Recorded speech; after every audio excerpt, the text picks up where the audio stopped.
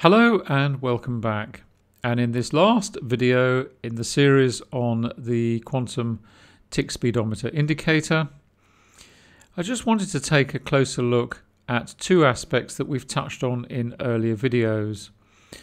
And in particular, the what we refer to as the histogram, which is the colored bar which appears below the price chart. And this is the bar that changes colour from green to orange to red. And it paints it green when we have very high activity in the market, orange when we're running along, when the market's ticking along nicely.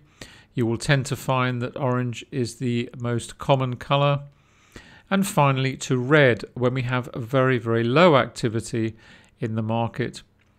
And the indicator works in conjunction with the traffic light system at the bottom of the indicator, the red, the orange and the green.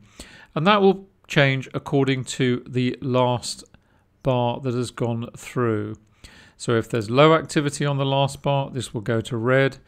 If it's running along, the market's moving nicely along in orange, then it will remain orange. And when you get spikes in high activity, it will change to green.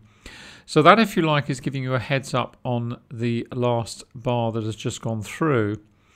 And what the histogram does is really give you a heads up. It gives you a history. It gives you a perspective on the price action and the associated tick activity.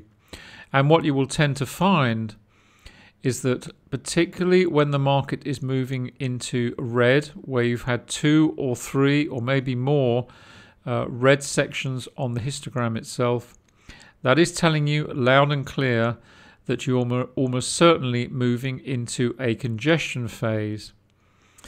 Tick activity is draining away, market momentum will be draining away, and indeed you will see this reflected on the price activity where the market almost certainly will move into a congestion phase of sideways price action. That is typically what you see when the histogram, the bar at the bottom, changes to red and continues to do so for some time. Then, as the market price action picks up again, it will no doubt rotate back to orange.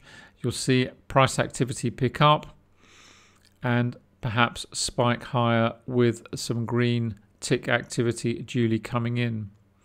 So it's just a great visual on what has preceded the current bar it gives you a heads up on where the price activity is, and it just paints that visually on the histogram in terms of the colors, whilst the traffic light signal gives you a visual heads up on the immediate candle that's just gone through and will change according to what happens next. The two work in tandem. They're just great visual indicators to help and guide you in your trading.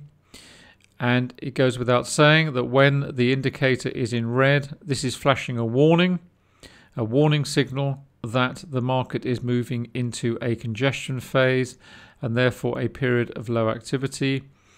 And if you're in the market, it may be an opportunity to close out. And if you're not in the market, an opportunity to wait and be patient for tick activity and momentum to pick up once again with the indicator moving back into an orange or a green phase in due course. So thanks once again for watching this short video. I hope you've enjoyed it and all the others in the series. And why not think about adding the tick speedometer to your toolkit of trading indicators for NinjaTrader.